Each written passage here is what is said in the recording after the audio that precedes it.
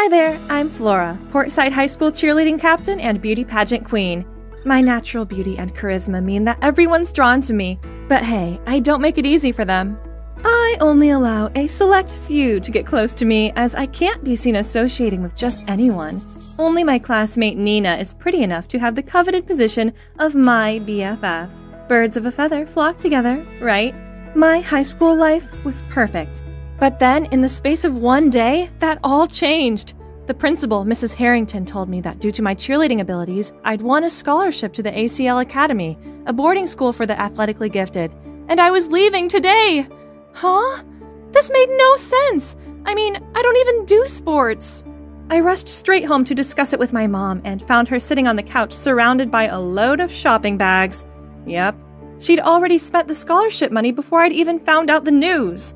I know mom loves money, but how could she make such a huge decision about my life without discussing it with me first? Ugh. Looks like I had no choice but to leave Portside High behind and go to this stupid sports school. Whatever. I'm a skilled cheerleader after all. It'd be a breeze, right? Wrong. This new school sucked. On my very first day here, I was woken up at 6 a.m. and forced to run five laps around the stadium. God, are these people superheroes or what? How are they able to run and laugh at the same time while I'm panting like crazy? I didn't have time to catch my breath when the teacher made us move to the gym to lift weights. After three hours in the hellish gym, I barely had time to digest my lunch before they steered me into the volleyball court. Yep, that's the sport mom had registered me for. Ugh, this stupid sport. Finally, nighttime arrived, and I managed to crawl my aching body back to my dorm. God save me from this living nightmare.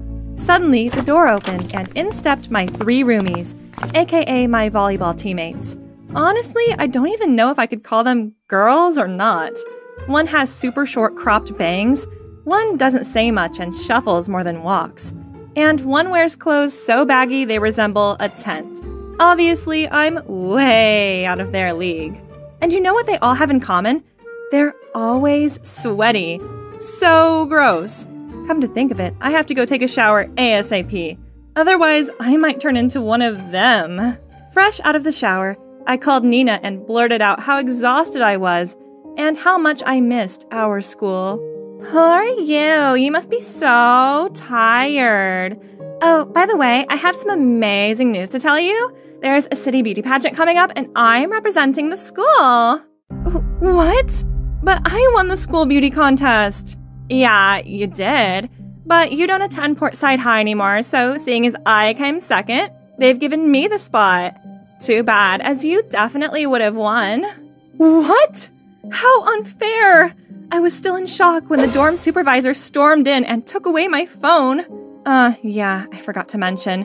This school even has a strict 10 p.m. phones away and lights off rule. It's all because they believe health is the most precious thing for an athlete. I tossed and turned all night. This beauty pageant was massive, and there's no way I could miss it. But I'm not at Portside High anymore. Instead, I'm stuck in this dumb jock academy. Hmm, if only I could get out of here. Huh, that's right. I have a brilliant idea. I need to get expelled. So, I decided to skip practice and go cause some havoc for three days straight. I poured paint into the pool, cut off the badminton strings, deflated all of the soccer balls, and of course, I made sure that the security cameras caught it all.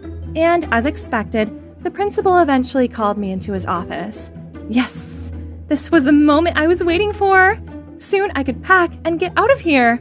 Only the rest didn't exactly go to plan. if it had not been for Mrs. Harrington. Two laps of frog jumps around the soccer field. Now! What? Frog jumps? I hate those things! Why couldn't he just kick me out already? But wait, what does Mrs. Harrington have to do with this? After my punishment, I needed to vent. So, hugging my aching thighs, I called Nina to complain about my failed plan. And she just burst out laughing. oh, Flora, those outdated tricks were never gonna work. You have to do something bold, like. oh my god, Nina is a genius! The next night, following Nina's instructions, I sneaked out when everyone was asleep. That's right, I'm going to wake the whole school up with these firecrackers. I lit one in the dorm's backyard, then ran to hide behind the bushes. Three, two, one, and silence. Huh? I went back to check and saw that it had gone out. What's wrong? Is this one broken? I tried again and again, but the same thing happened each time. As if a ghost did it? Just the thought of it sent chills down my spine, so I sprinted right back to my room. Okay, so not only had my plan been a massive fail, but it had left me super tired. Needless to say, this morning's run was not fun. Zombie alert! Hmm, how come they look even more exhausted than me? Hey, have you guys heard about the doomed jock? He's the ghost in the dorm's backyard. Allegedly, he attended this academy years ago, and he exercised himself to death right there in the dorm's backyard. So now he haunts it. What was she talking about? Could it be the one who messed with me yesterday? Was the doomed jock? I couldn't just give up like that. I needed to figure out a way to get out of this awful place before this ghost got me. Hmm. How about starting a fight? I heard that the fencing team and basketball team were the two toughest groups in the school. So, I sprayed paint on their fencing masks and punctured all of the basketballs, and left a fencing sword at the scene. Then I wrote both teams an anonymous letter.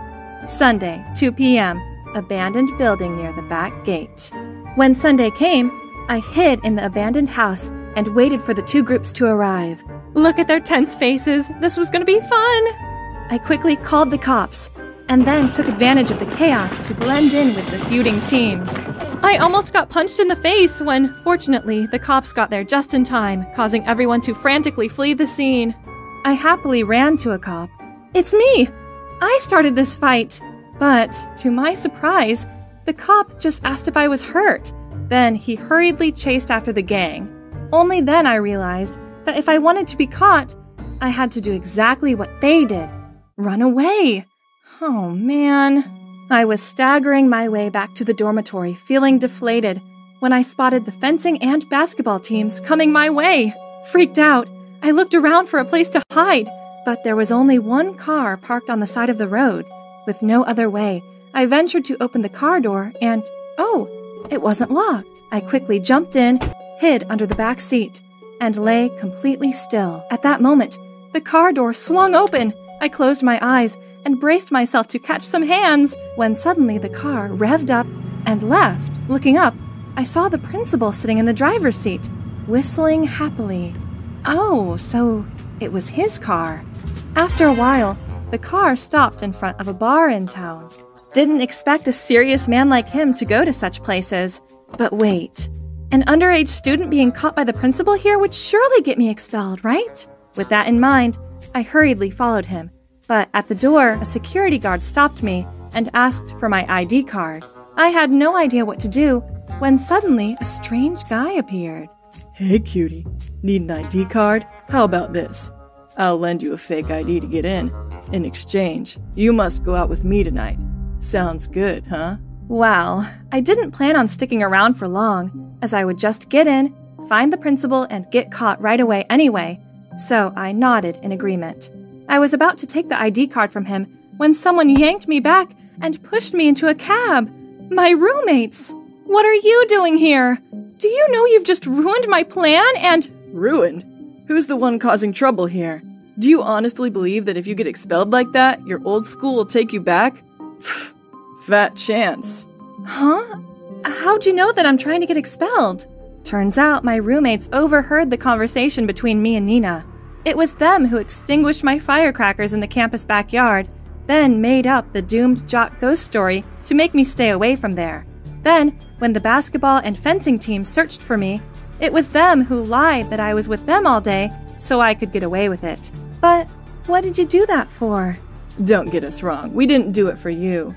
We did it to protect the school's reputation. Then they started telling me that, for the last few years, due to bad achievements, our school was on the chopping block to make space for industrial areas. The only way to convince the city council to keep our school was by winning the state's upcoming sports competition. We've all played sports for all of our lives. Sport is everything to us.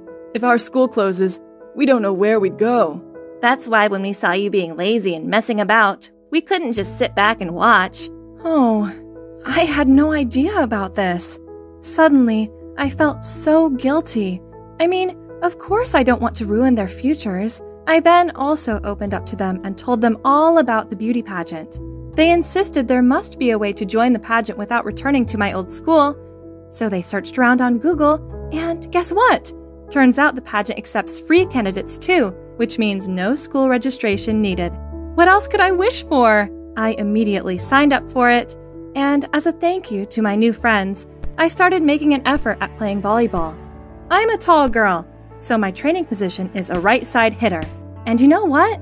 There is this satisfaction whenever I was able to block a ball. Not gonna lie, this is much more interesting than I thought.